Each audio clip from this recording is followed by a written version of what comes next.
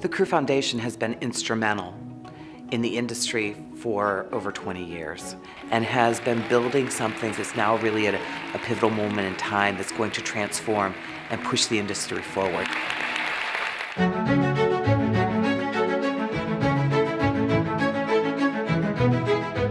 We're starting in high schools, we are at the university level, and I think that that work has never been more important.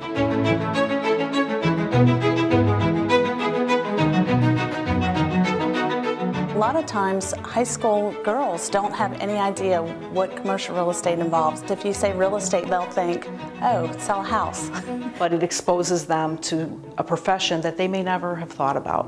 When they go to a construction site and they see what it's like to build a building, and they see the beams, they don't see the drywall, the construction workers are there and they're explaining to them about the tools that they use and the parts. That's the aha moment for those kids.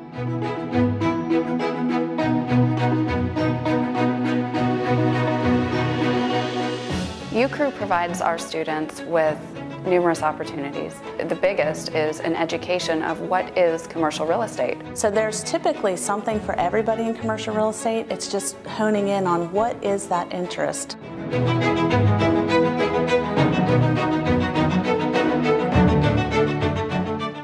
So I had two paths laid out to me, like computer science and pursuing this app through an incubator and pursuing real estate through the business school, and I just couldn't figure out where to go. That summer, I had received a call from Gail Ayers, the then CEO of Crew Network, and she had notified me that I had received the Crew Network scholarship that year for 2014 and that completely changed everything. I went to the University of Cincinnati majoring in marketing so I didn't know much about commercial real estate at all. Um, coming from a smaller town, real estate to me was residential. We are engineers, we are architects, we are lawyers, we are bankers, we have our MBAs. I think these students see that and they see that there are many different directions they can take. The internships that we're offered help us get our foot in the door. Otherwise, it's going to be hard to get my resume really read and across the table and being able to already have those connections, really that advocacy again, where somebody is speaking up for me and saying, hey, we believe in this person as a scholarship recipient. We believe that they'd be a great internship candidate as well.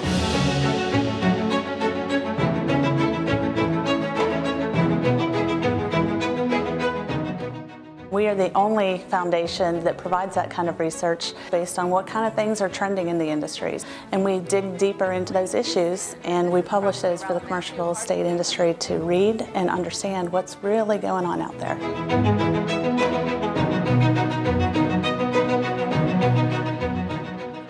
A visionary is someone who is aligned with Crew Network's mission and is looking to the future to ensure that women have a place in this industry. I walked into one meeting with all men and it was kind of uncomfortable and a little bit scary. And I now see how many women are in the real estate industry. The endowment is uh, a way for whether it's individual donors or chapters to contribute to a legacy that helps young women and girls who want to pursue education that could lead to a career in commercial real estate.